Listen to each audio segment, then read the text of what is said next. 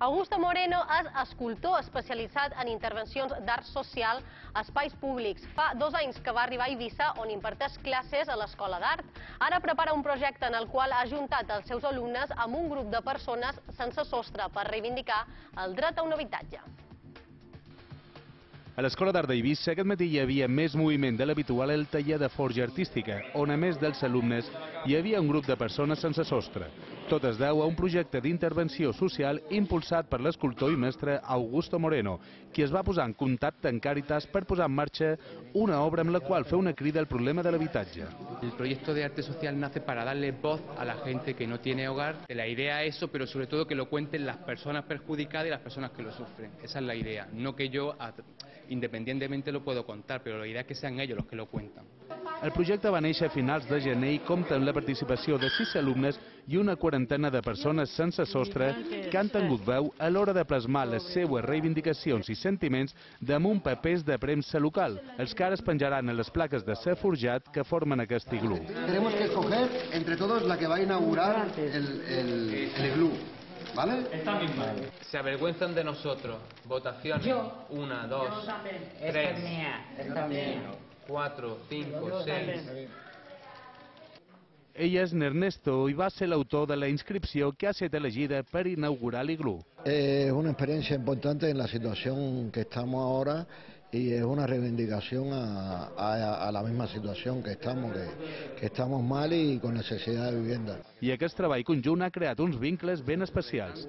Ha sigut molt, molt interessant perquè al principi, en primer moment, eh, normal, ja era una relació molt freda, no? però a poc a poc i a mesura que ens anat coneguent, eh, ara pues, bueno, ja som com, com de família, com que diu, no? Llavors ha sigut molt, molt maco i molt interessant aquest, aquest canvi, no? I, bueno, ja, i arriba un punt que ja comença a haver un apreci mutu no? entre nosaltres i ells, o sigui, molt, molt bonic.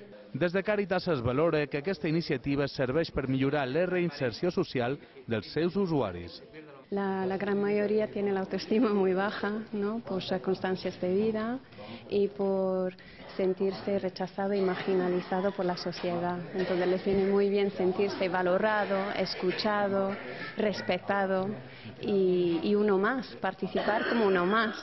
I cal recordar que no totes aquestes persones sense sostres són aquí per un passat marginal, com ens recorden Àngeles.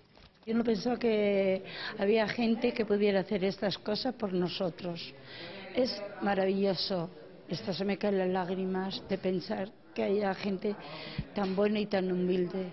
En mi corazón siempre lo llevaremos, porque yo pensaba que la gente pasaba de la gente de estar viviendo en la calle como si fuéramos eso, animales y no personas. O porque te ven por la calle y te piensa que somos borrachos o drogadictos, pero no señor. Estamos en la calle por motivo de no poder pagar una vivienda como Dios quiere mandar. Queremos una vivienda a bajo precio y que podemos pagar todo el mundo. Per altres, com Necbert, aquest projecte serveix per donar-se a conèixer davant una societat que els hi dona l'esquena. para que puede concienciar la gente para que pe- pe- pe- esos invisibles no son invisibles, ya menos, porque hay que intentar buscar una solución. Aquesta escultura es finalitzarà d'aquí dues setmanes. Per completar-la, cal instal·lar un mirall al sol perquè s'hi reflecteixi l'espectador i vegi que ell també podria formar part d'aquesta realitat. Una vegada finalitzada, l'escultura es portarà en processó fins a un espai públic del municipi de Vila encara per determinar i tant els alumnes com els usuaris de Càritas que hi han participat passaran la nit al seu voltant per recordar la situació de les persones sense sostre.